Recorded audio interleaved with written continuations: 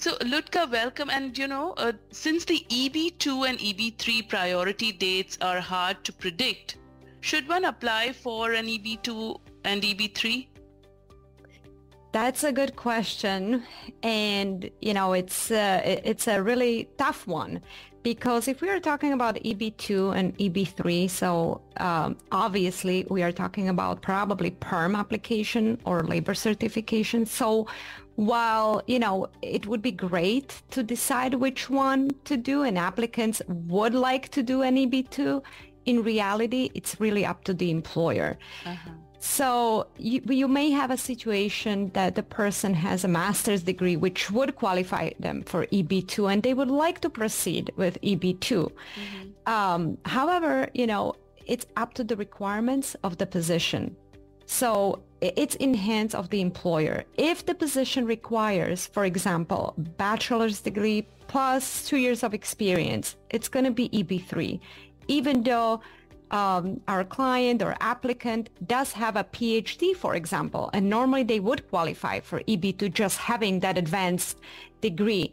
But unfortunately, oftentimes, you know, in, in PERM or labor certification, you know, this is the process that is driven by the employer and employer really cannot tailor the requirements of the position for that particular um, an employee. So if the employer is going with EB2, obviously it's better. Why is it better?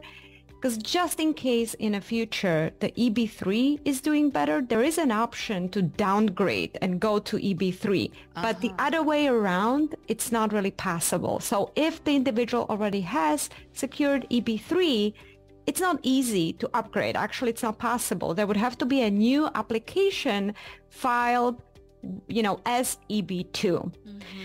So, you know, yeah. we, I know clients would love to go with the EB2, but at the end of the day, it's really um, about the employer, you know, how they decide, what are the requirements for the position, and so on. But of course, the applicant can file on their own, you know, whether it's EB2 as a national interest waiver or even EB1 if they qualify, of course. Mm-hmm. So a lot of nuances there, right?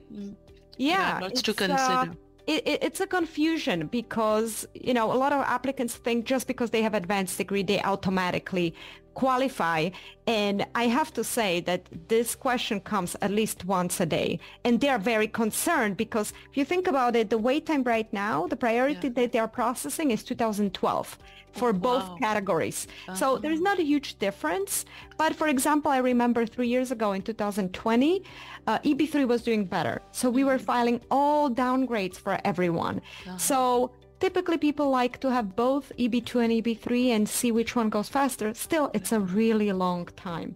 So the best definitely would be to apply for EB1 if eligible, of mm-hmm. course. But that's a topic for a different discussion, how to upgrade it to EB1. Well, thank you for shining the light on it today. And uh, thank you, Ludka. That's Ludka Zimovcak of the NPZ Law Group, providing counsel to companies and individuals worldwide on complex US and Canadian immigration issues. Call them today and mention Mirchi for that special discount at 201-670-0006 or log on to v